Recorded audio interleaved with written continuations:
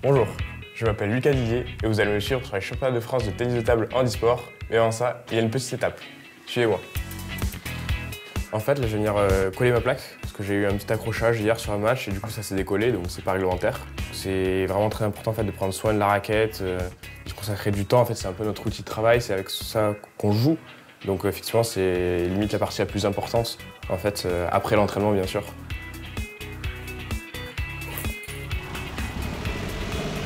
Ça finit à quelle heure T'as les horaires ou pas 15 heures. C'est des Bah, ça va. Quand euh, il part tout seul et qu'il n'y a pas de- d'encadrant ou d'autres personnes pour, euh, pour l'accompagner, ben, je, je viens pour faire le chauffeur. J'essaie de- de- d'organiser les repas, tout ça, pour qu'il n'ait pas d'autre chose à, à penser. On le supporte discrètement dans un petit coin de la salle, pour pas le perturber. Et voilà, on prend du plaisir à, à- à le suivre. hein. Le championnat de France, ça représente euh, une compétition qui est quand même assez importante parce que c'est euh, en préparation en fait pour toutes les compétitions euh, internationales. Je suis né avec deux pivots. Donc en fait c'est une atrophie des mollets, je suis né avec les pieds un peu de travers et j'ai eu des opérations pour, pour essayer de, de arranger tout ça avec plus ou moins de succès. Et voilà, donc j'ai du mal à me déplacer, à courir, à sauter, à faire un peu toutes ces petites actions. Mon adversaire, ça va être Baptiste Guias. C'est une personne dans le handicap et d'être de petite taille en fait.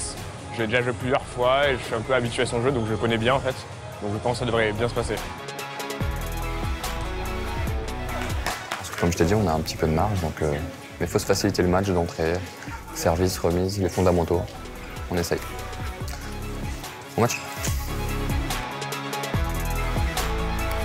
Allez Lucas, allez, allez, on enchaîne là. Allez grand.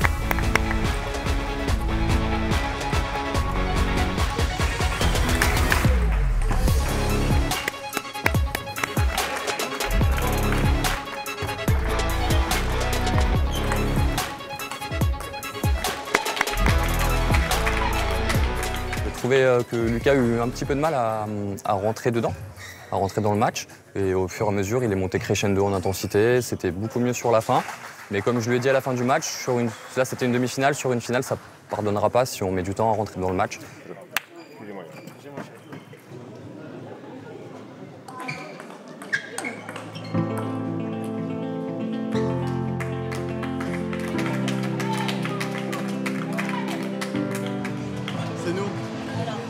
Et maintenant, la finale joueur de la table 1. Voilà.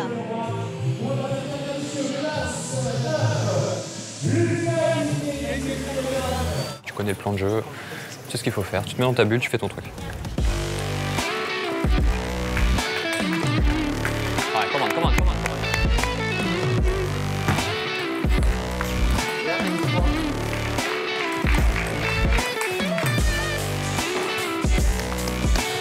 Même les services, t'as vu, t'as servi revers pivot, tu l'as fait une fois, deux rebonds dans le plein coup droit au même long. Ok, ça, ça peut payer. Il reste. hein. Fais l'effort encore, fais l'effort, Louis. Allez, mon grand.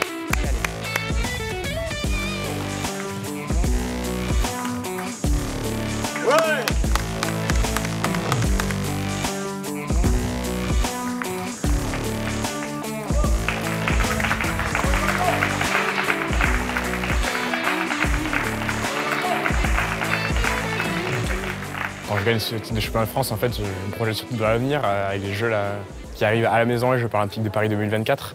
C'est vraiment mon objectif que je perds pas en tête, même si euh, je suis dans l'euphorie d'avoir gagné ce titre. Je perds pas en tête l'objectif de se qualifier pour les Jeux paralympiques et essayer de faire un très bon résultat, avoir une médaille. Hein Bravo. Merci.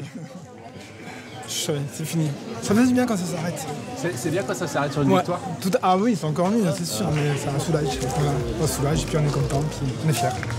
Médaillé d'or et champion de France 2023, représentant le TT Blanc-Lançois, Lucas Didier.